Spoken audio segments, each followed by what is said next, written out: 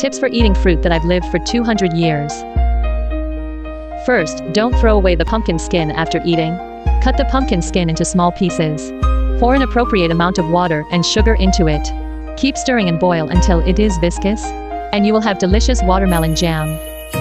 Second, don't lose the orange peel after eating. After cutting, put it into the pot.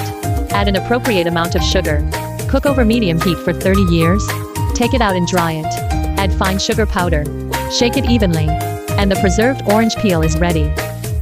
Third, don't worry about throwing the peeled tomato skin. Lay it on the baking pan. Add some oil and favorite seasoning. Stir it evenly and put it into the oven for 30 minutes. The delicious dried sweet potato is ready.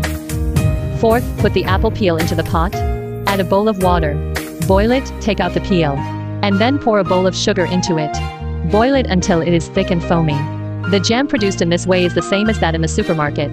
There are many unexpected surprises in the links on the home page.